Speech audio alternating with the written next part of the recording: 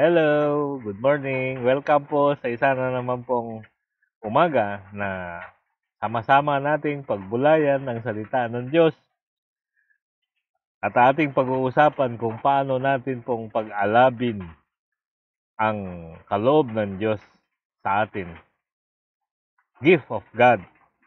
At ating ibabase ang ating pag-uusap sa sulat ni San Pablo kay Timoteo. 2 Timothy chapter 1 verse 6. Ganito ang nasusulat. Dahil dito ipinaalala ko sa iyo na maging masigasig ka sa pagtupad sa tungkuling tinanggap mo sa Diyos nang ipatong ko ang aking mga kamay sa ulo mo. Maraming salamat Lord. Ang paglalakbay natin tungo sa kaharian ng Diyos ay puno ng sitwasyong magpapabagal sa usad mo. Minsan, ang mga sitwasyon na puno ng problema sa buhay nagiging dahilan ng pagbagal ng ating pag-usad. O kaya mga tagpo sa ating pang-araw-araw na buhay na magpapahina sa ningas ng ating puso o ating desire sa paglilingkod sa Diyos eh nawawala. Kumbaga unti-unting namamatay ang apoy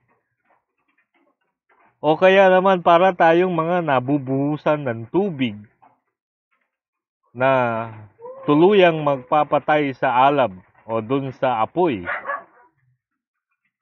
ng paglilingkod natin sa Diyos at tuluyan na tayong manglalamig. Makakalimutan natin ang kaloob ng Diyos nung tayo'y kanyang iligtas.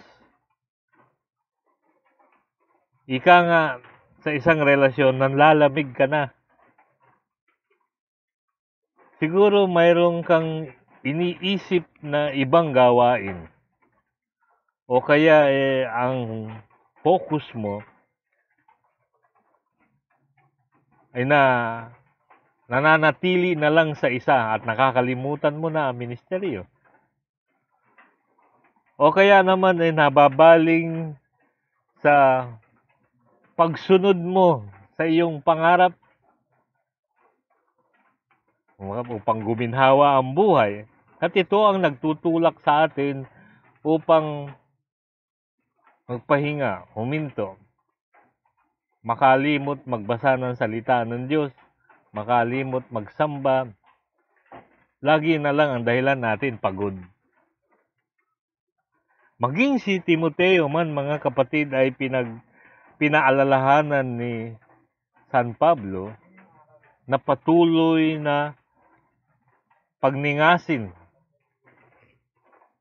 ang kaloob na binigay sa kanya ng Diyos, ang kanyang ministeryo. Dumarating talaga sa punto mga kapatid na tayo ay nanlalamig. Pero hindi naman ito pagbabackslide.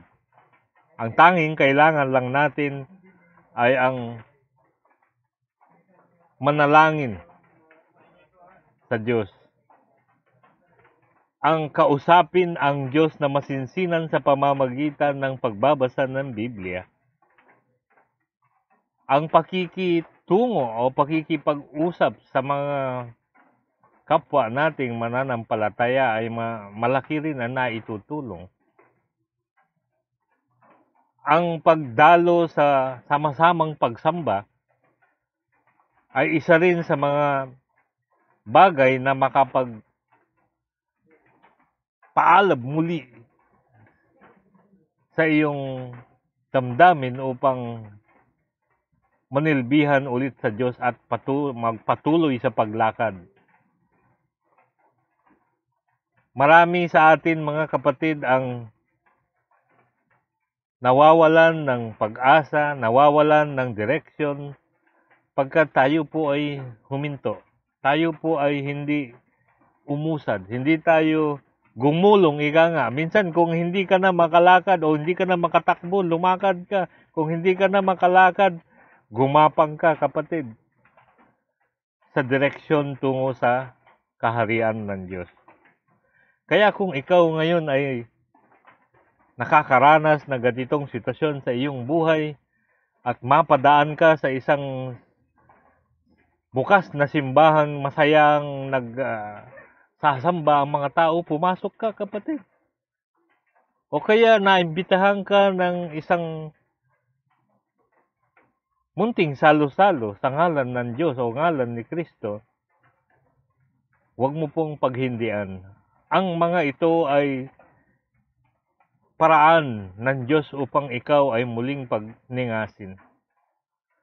Ang marinig mo, ang, ang pinag-uusapan natin ngayon, at makarelate ka, pwedeng huwag ka nang mag-agtubili, kapatid. Gumawa ka ng paraan upang maabot mo ang church namin, o ang Christian Life Center. Dahil alam ko, hindi mo ito papakinggan o hindi mo ito maririnig kung hindi udyok ng banal na espiritu na nagnanais na pagningasing ka muli. At welcome sa isa na naman makabuluhang pagtatagpo natin kasama ang Diyos, ang kanyang presensya at tayo po ay manalangin mga kapatid. Lord, maraming salamat sa oras na iyong ibinigay. Salamat sa sistema o na teknolohiya na ganito, Panginoon, na nakaka salamuha ka namin, nakakasama ka namin sa aming ah, pag-aaral ng iyong salita. Naway ang aming napag-usapan ngayon ay makapagbigay ng ningas saka puso ng bawat isa na nagnanais na mapag-alab muli, Panginoon. Alam kong hindi mo hihindihan ang mga lumalapit sa iyo, Lord God. At higit sa lahat, iyo silang patnubayan, iyo silang gabayan, Panginoon Diyos, pabalik sa iyong kaharian. Sa ngalan mo, Jesus, ito aming panalangin. Amen. Ingat po. God bless.